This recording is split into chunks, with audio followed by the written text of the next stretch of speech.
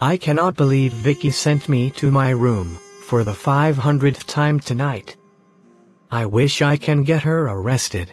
That's a sweet wish, Timmy. Let's do it. Wait a minute, you are not Cosmo.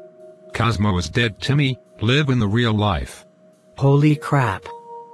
You killed a fairy.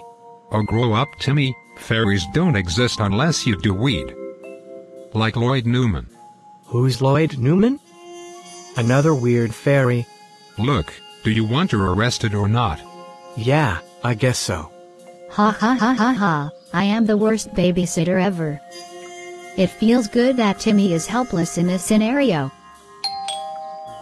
Who is it? The pizza man? I better go check. Are you babysitting Timmy Turner? That twir, I mean, Timmy? Yeah, that's me. Vicky DeBitch, you are under arrest. My last name is not a bitch, it's the witch. Whatever. You are going away for a really long time.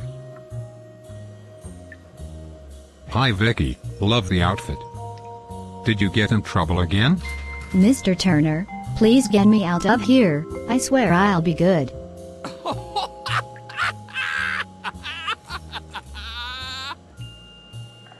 Sorry Vicky, but I heard you were torturing our son Timmy, can't bail you out this time.